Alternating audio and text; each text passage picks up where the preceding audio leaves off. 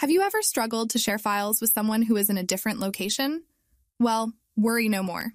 Introducing Send Anywhere, the ultimate file sharing solution. Send Anywhere allows you to effortlessly share files anywhere in the world, and it works on Android, iOS, and PC. You can use it to send any type of file, including photos, videos, documents, and more. Here's how it works. Simply install Send Anywhere app on both devices and open it. On the sending device, select the files you want to share. And you can do this in two ways.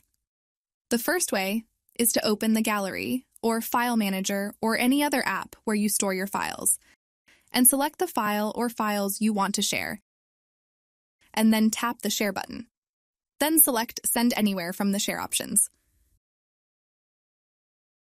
The second way is to open the Send Anywhere app. Select the Send option and choose the file type. And select the file or files you want to share. Then tap Send. Send Anywhere will then generate a six character code. This code is valid for 10 minutes.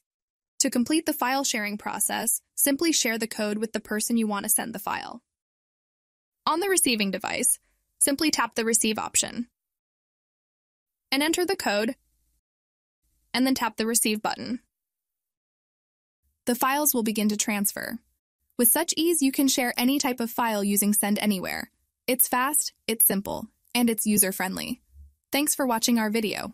If you found this information helpful, be sure to subscribe to our channel for more useful tips and tricks.